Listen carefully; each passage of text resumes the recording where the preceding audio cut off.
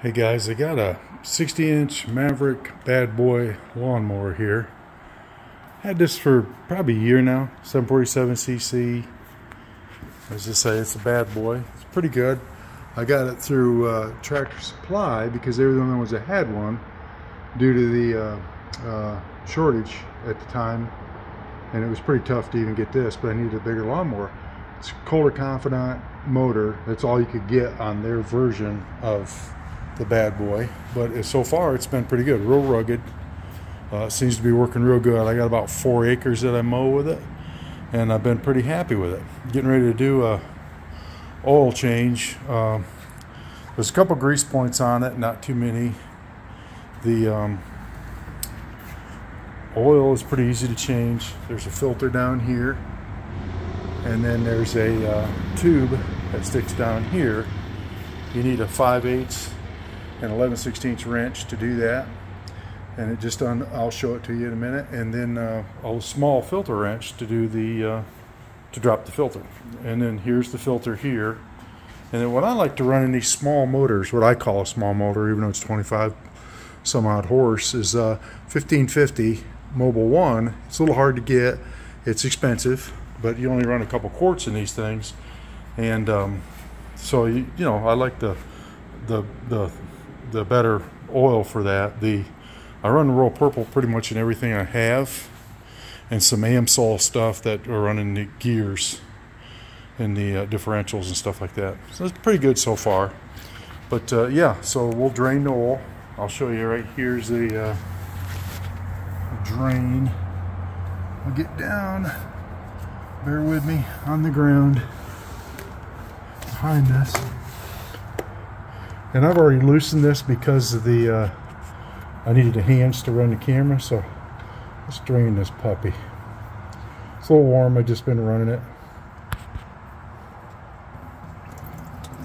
It's got 45 hours on, on it, but I changed the oil at about five hours. So it, uh, it's probably 40 hours. I think they recommend it 50 to change it. Doesn't look too dirty. Pretty clean. Again, uh, some of that oil that I had, I had, it's not quite a year, but I'll change it pretty often. But that, uh, I bought like a case of it, and I've been using it in all my small engines, pressure washers, things like that. So, yeah, but uh, we'll let that drain down. And then uh, over here, they did a little, uh, it's kind of neat, they did a, a little opening there for the filter. So when you get ready to drain it, it uh, runs through that hole somewhat. and then this has two uh, ZT 3200 hydro drives, which I liked. I wanted the bigger ones that uh, had a little bit more oomph to them. I got, I uh, gave my son-in-law my 50-inch Toro, uh, and it had the smaller hydrostatic drives, but they did pretty good. I, I was real impressed with them. These, these, let's see how hot. These, yeah, they're pretty hot. But these have um, filters on them. So you can change them, drain them, change the filters on them. More commercial, I guess you'd call it. But yeah, I've been pretty happy with it. It's, yeah, it, uh, it doesn't mess around because it's a pretty stout machine as far as uh, frame, things like that. And then uh, I don't, yeah, it's carbureted, so I don't think it was fuel injected, this one. There was, a, I think they only offered don't know if it was the Honda or the Kawasaki that was fuel injected. And you just couldn't get them. Like I said, you know, just draining down pretty good. I don't worry about the every last little drop because I do shortchange these things a little bit. So I'm not too worried about the uh, this uh, thing, uh, you know, being completely drained. But yeah, so we'll go over here to the uh, let me go over here to the filter. Let me get situated here, guys. Let me get back up off of uh, off of the ground a little. Move my pan over. Forgive me because I'm doing this one-handed. Yep.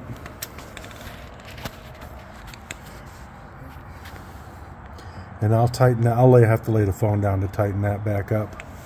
But yeah, so, and again, like I say, I'm still getting used to editing, so it'll take me a little bit to get things situated where I can edit better. And I don't, you guys don't have to put up with the slow pace of this. And I got my filter wrench. I found it was pretty easy to reach in around this frame and uh, get, get to the filter this way with this wrench. Get back here, see if you can see it. And I can get it to turn pretty easy. I hand tighten these. Um, I was told once by an old guy with these filters, you hand tighten them, it's all you really need. They pulse when the pump pumps and uh, it'll actually help tighten it a little bit more, the pulse rate. And then, uh, see, it's kind of kind of runs down in there. But yeah, so it, not much came out, so it's not too bad. It is warm right now, so kind of hot. But let me get her get her off here, guys. There's some splashed out.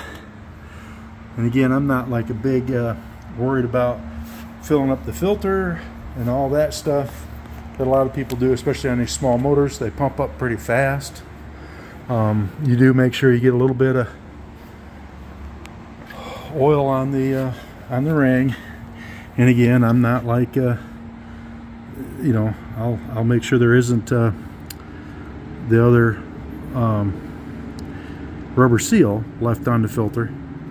As you can see here, you know, both filters are here. This one's not too dirty.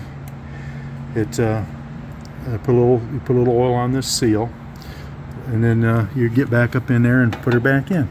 The uh, little motor, it'll pump this filter pretty quickly full. A lot of times you can fill them up. I used to be a real fanatic about it and let them sit overnight full of oil. And then I would put a little extra in it and put them back on. And uh, But I've never smoked a motor. I've run a lot of high power engines, a lot of, a lot of crazy stuff and I've never had a problem. I've never had an engine problem at all. If I get an engine, if I have an engine, they last me. I run them hard, but I understand them. So, but yeah, so it's in there, it's hand tight. The, I don't know if you guys know, but on these filters, when they're concave on the bottom, most of your oil filters, if you ever noticed, are concaved. And that's the reason for that, I was told and read, was uh, the pulse in the pump pumps it. If it was flat, it would start working back and forth, almost like working a paper clip back and forth, and it would break. It would start to crack. And if you ever drop or get a filter that uh, has a dent in it, you shouldn't use it because it's another thing. It'll it'll work, and it'll get that it'll get a crack in it. This is the dipstick. Pull that out. Set it out of the way. I've got a little tray up here I bought a little accessory tray for it. And I got this thing too, this uh, this is a lever, you pull it down and it closes off the stuff and mulches the grass. This is kind of trick, but what it is, is I mowed this yard today with it and in the backyard. Well, I had a ton of leaves similar to this. Well, it ground them, as you can see, I didn't pick any of them up. I got a little leaf catcher thing there, but I haven't had to use it because I'll set this thing on about three inches high and then just mow and it grinds all the leaves up. Now down in here I'll probably use it because it's just so many leaves they get kind of jammed up. But again, down in there it doesn't look too bad and there doesn't a lot of grass grow down in there anyway and it helps with erosion. But yeah, so let's go ahead and uh, put oil in this thing. I gotta get my filters and fill it up with oil. But uh, I'll go ahead and stop and then I'll come back. I'll see if I can edit these together because I really needed to be doing that. I don't know if I can. And uh, so it's set up right where you just get uh, uh, a good. Okay guys, I'm back filling this up. I forgot. I think I was um, thinking about my other mower, but the seat tilts up on this and the floor tilts up on this. Uh, really neat. Uh, they really give you a lot of access to this. And uh, so the floor will tilt up here. and you can clean out your deck. And then, uh, like I say, you see, this is like quarter inch steel. It's all welded, good welds. Um, the only grease points, lube points on it are these uh, right down in here. You can see them right here. They're uh, for the deck up and down. I'll lube those today before I get done. Check the belts, everything looks good. Like I said, uh, I got this Mobil one 1550. I put a quart in there so far. Let's see where we're at. Set my filter, set my uh, inside here. I already wiped off my dipstick. And I think it gives me Yep, about a half full right now.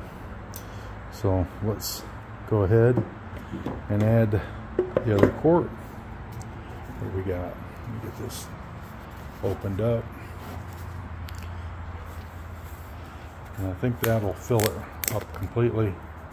It is funny to me that these things only take uh, a couple quarts as much I guess they don't wouldn't need that much, you know, just doing the bottom end and your, the engine lays on its side, so you're getting oil up into the heads relatively easy. It's not like it has to push it way up there because the heads are on there. Your your valves are on the side, your rocker arms, stuff like that. But um, and it's a push rod motor, so your cam and crank are close to each other, so they're going to get lubed pretty good.